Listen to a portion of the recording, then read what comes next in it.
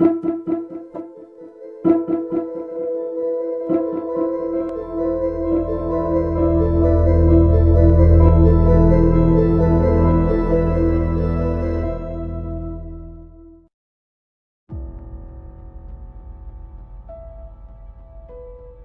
आजको वचन मर्कुसको पुस्तक नौको तेइसमा यस्तो लेखेको छ।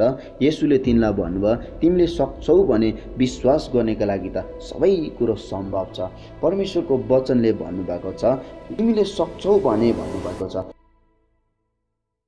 निर्णय चाहिँ तपाईँ अनि हाम्रोमा गर्नुपर्ने छ। यदि तपाईँ अनि हामीले विश्वास गऱ्यौँ भने हाम्रो सब सबै कुरा चाहिँ नि यीशु ख्रिस्टद्वारा चाहिँ सम्भव हुन्छ। यदि हामी विश्वास गऱ्यौँ भने हाम्रो परिस्थितिहरू बद्लिन सक्छ। यदि हामी विश्वास गऱ्यौँ भने हाम्रो रोगहरू चङ्गाइ हुनसक्छ यदि हामीले ख्रिस्टमा विश्वास गऱ्यौँ भने हाम्रो जीवनमा आश्चर्य कर्म हुनसक्छ हामी सम्भव गर्ने शक्ति हाम्रोमा छैन। हामीले त्यो कामलाई पोसिबल बनाउन सक्दैनौँ तर ख्रिस्टले पार्न सक्नुहुन्छ। तर त्यो ख्रिस्टले पार्नलाई तपाईँ अनि हाम्रो जीवनमा विश्वासले हेर्नुहुन्छ। यीशु प्रभुले विश्वास बिना तपाईँ हाम्रो जीवनमा काम गर्न सक्नुहुन्न। हिब्रूको पुस्तक एघारको छले भन्छ विश्वास बिना उहाँलाई रिजाउनु असम्भव छ।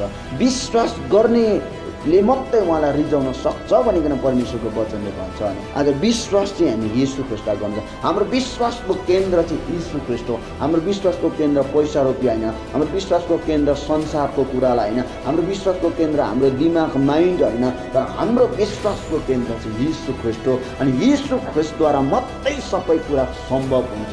तपाईँ अनि हाम्रो विश्वास चाहिँ यीशु ख्रिस्टमा हुनुपर्छ। हितुपति तिनको तिन पद अनुसार दृढ विश्वास अनि भक्तिले तपाईँ नछोडोस् भनेको छ। अब दृढ विश्वासमा ख्रिस्टमा अगाडि बढ्नुपर्छ किनकि समय डरलाग्दो आउँदैछ परिस्थितिहरू एकदम दुर्बल भएर जाँदैछ। अब एउटै व्यक्ति मात्रै स्थिर रहन्छ जसले ख्रिस्टलाई निरन्तर स्थिर भइकन विश्वास गर्छ। त्यो व्यक्तिले मात्रै यीशुको वचन योन एघारको चालिसले पद अनुसार त्यो व्यक्तिले मात्रै विश्वास गरेद्वारा उसले परमेश्वरको महिमालाई देख्छ। सबै कुराबाट परमेश्वर धन्यवाद। हामी